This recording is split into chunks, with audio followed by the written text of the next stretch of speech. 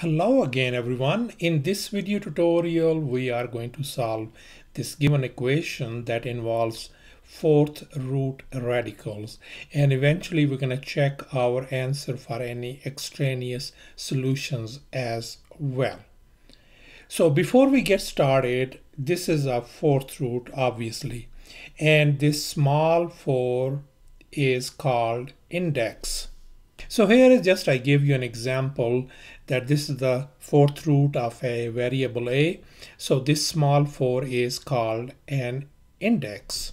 And one more thing pretty quick, I'm going to tell you that this is the left hand side is a fourth root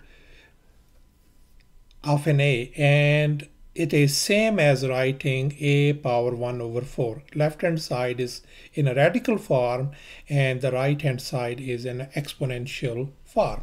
So let's go ahead and let's get started with the solving this radical equation. So we want to get rid of this 5 because we want to isolate this radical. So I'm going to subtract 5 from both sides. So this 5 and negative 5 is gone. So we ended up with fourth root of 6x plus 9 on the left hand side and we got 3 on the right hand side.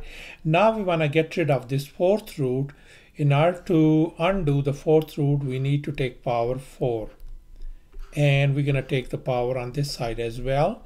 So now this power 4 and fourth root they undo each other 6x plus 9 turns out to be 3 power 4 is same as you multiply 3 four times. So that's gonna give you 81 and finally I want to share one more fact with you that uh, if you take the power 4 of any fourth root then this power 4 and fourth root they cancel each other out so we ended up with an a.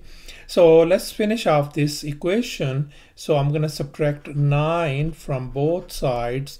So simply this is gone. So 6x turns out to be 72 divide both side by 6 so x turns out to be 12 and that is our solution and now finally we want to check our answer for any extraneous solution. That means we're going to see whether left hand side equals to right hand side.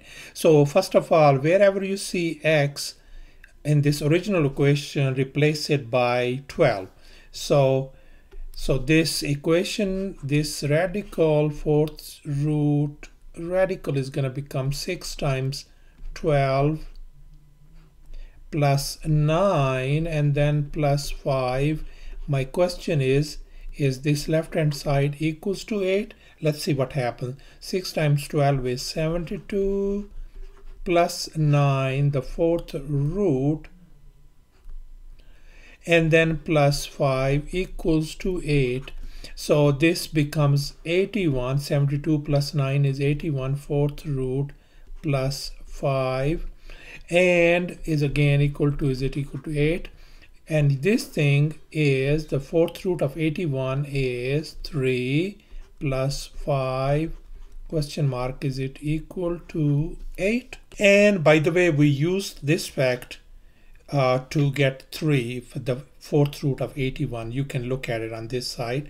So by the way this 3 plus 5 turns out to be 8 and on the right hand side is 8 as well. Is this statement true or false?